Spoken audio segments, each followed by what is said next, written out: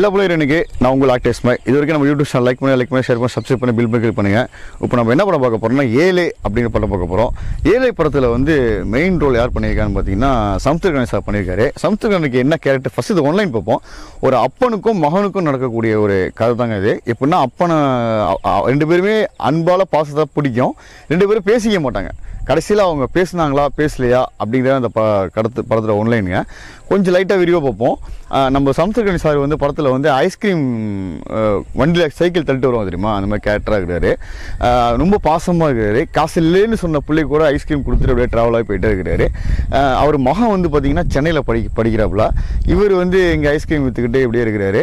ஆனால் ஒரு டைமில் அங்கே ஊருக்கு வரும்போது ரெண்டு பேரும் பேசிக்க மாட்டாங்க. உதாரணம் சொல்ல போனால் அதான் ரெண்டு பேருக்குமே வந்து பேசாமல் இருக்கக்கூடிய ஒரு நட்பை காமிச்சிருக்காங்க டேரக்டர் எப்படின்னு சொன்னீங்கன்னா அவர் வீட்டில் இருக்கும்போது இப்போ சமுத்திரக்கணி தேடி ஒரு கடங்காரம் வந்தான் வச்சுங்களேன் அவர் பையன் வந்து அவர் இல்லை வெளியே போயிட்டார் அப்படி சொல்லிடுவாங்க. அப்போ அந்த பையனை தேடி ஃப்ரெண்ட்ஸ் சில பேர் வந்தால் பிடிக்கலன்னா இவர் இல்லைன்னு அனுப்பிச்சு அந்த மாதிரியே இருக்கும். ரெண்டு பேசிக்க மாட்டாங்க. இப்படியே இருக்கும். அவருக்குள்ள மகனாருக்குள்ள ஒரு காதல் ஒன்று மலருது. காதல்னால் காதல்னா எப்படின்னா அந்த பொண்ணு தான் கல்யாணம் பண்ணுவோம் அந்த பொண்ணு தான் வேணும் அப்படிங்கிற மாதிரி ஒரு மூச்சு அப்படியே நின்றுக்கிட்டு இருப்போம். கட்டினால தான் கட்டுவோன்னு இருப்போம். ஆனால் இந்த படத்தில் நம்ம ஹீரோ அந்த மாதிரிலாம் பண்ணல. அந்த பொண்ணுக்கு வே வசதியான மாப்பிள்ளை பார்த்துட்டு இருக்காங்க. கட்டினா கட்டிட்டு போட்டோமே அந்த மாதிரி அலட்சியமாக இருக்கிறாரு.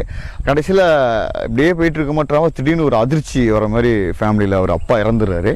இறந்த உடனே அவர் அப்பாவோட பாடி காணா போயிடுது. அது கிடச்சிச்சா கிடைக்கலையா? இவர் அந்த பொண்ணை வந்து கல்யாணம் பண்ணாரா கல்யாணம் பண்ணலையா? அப்படின்னு தாங்க இந்த கதை. நீங்கள் படம் நான் சொல்லும் போதே நீங்கள் படம் பார்க்கணும்னு உங்களுக்கு தோணும். கண்டிப்பாக அந்த படத்தை பாருங்கள் வேறு லெவலாக இருக்கும். சமுத்திரகனி வந்து சிவாஜி நடிப்பு சூப்பராக மேல் அந்த மாதிரி நடிச்சிருக்காரு. வெறித்தனமாக நடிச்சிருக்காரு. அவர் நடிப்பு சூப்பராக இருக்குது கேமரா ஒர்க்கு மியூசிக்கு எல்லாமே இதில் நல்லா இருக்குது ஆனால் சம்திங் சாங் தான் நல்லா இருக்கு சொல்லிட்டு ஆனால் மியூசிக் நல்லா இருக்குது இந்த பேக்ரவுண்ட் ஸ்கோர் மியூசிக் நல்லா இருக்குது சாங் வந்து அவ்வளோவா ஒரு நமக்கு ஒரு பிடிமானமாக இல்லை அப்படின்னு நான் சொல்லலாம். படம் வேறு லெவலில் இருக்குது ஃபேமிலியோட பார்க்கலாம். ஒரு அப்பா மகனுக்கு உள்ள சென்டிமெண்ட் படம் கண்டிப்பாக அந்த மாதிரி இருந்தீங்கன்னா கண்டிப்பாக அந்த படத்தை போய் பாருங்கள் உங்களுக்கு லைஃப்பில் நடக்கிற மாதிரி ஒரு ட்ராவலிங் ஆகும்.